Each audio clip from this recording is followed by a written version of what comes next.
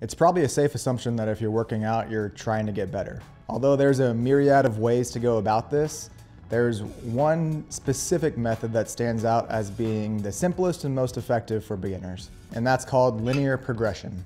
There are two ways to think about this, the first being simply adding weight, and the second being adding volume. It doesn't really matter which one you pick, it depends on your priority or your goals, but you have to pick one. With any exercise, it's safe to start out with three to five sets of 10 to 15 reps. If you pick the first method, adding weight, then all you'll do is add 10% to each workout.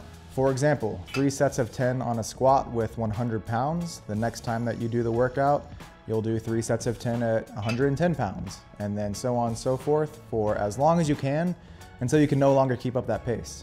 For beginners, two to three times a week for this specific exercise is a good starting point.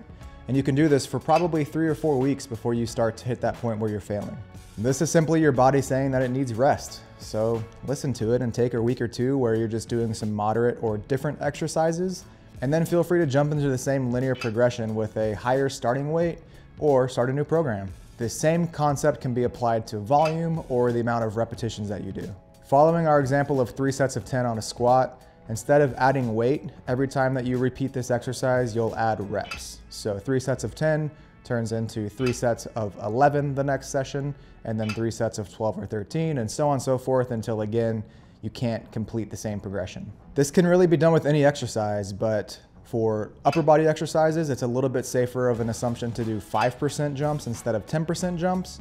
But for beginners, you can go anywhere in between and do what's best for you or what challenges you. The good news is that you're almost guaranteed to make progress as long as you have a plan and you stick to it. Let me know if this helps, and I'd love to hear what your favorite way to progress is. Thanks.